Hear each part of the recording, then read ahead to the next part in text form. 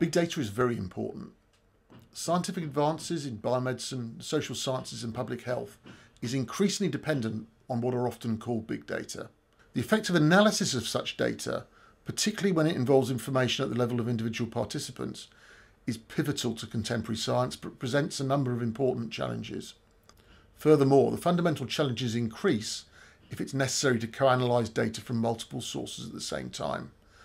But such co-analysis is essential either if the total number of people required to confidently answer a particular scientific question is too large to be produced by any single study, or if one wishes to enrich a data set by adding additional variables from different sources.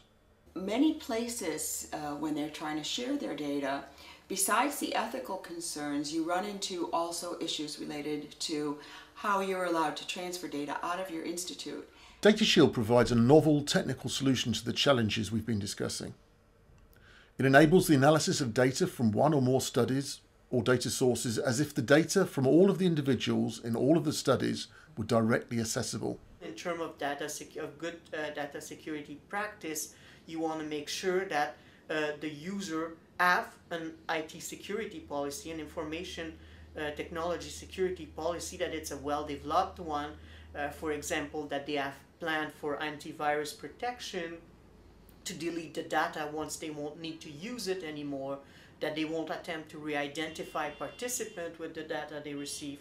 So things like, things like that uh, you have to pay attention to in, in terms of information uh, protection. The data actually remain invisible and secure behind the firewalls of their host computers. Commands are sent from a central analysis computer to the remote computers that hold the data to be analysed at each study. When multiple sources are involved, it allows data on individuals from the different sources to be worked on together by taking the analysis to the distributed data rather than warehousing the data for centralized analysis when you want to do analyses, you maybe think of something new you want to do, and with DataShield, you could just go right ahead and do it. To make this possible, the data sets are analysed simultaneously but in parallel. The separate parallelized analyses are linked by non-disclosive summary statistics, while commands coordinating the analysis are transmitted back and forth between the analysis computer and the data computers. It will protect their data.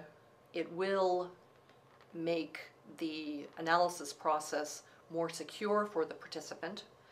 Uh, and all of those aspects should reassure the potential participant in the study that uh, participating in that study is not going to jeopardize their confidentiality. One step to making it more efficient, to being able to achieve those goals, and to keeping public trust and public investment is to streamline, simplify, make access possible, and uh, protect participants so that they continue uh, to believe in, in, in this science. Thank you.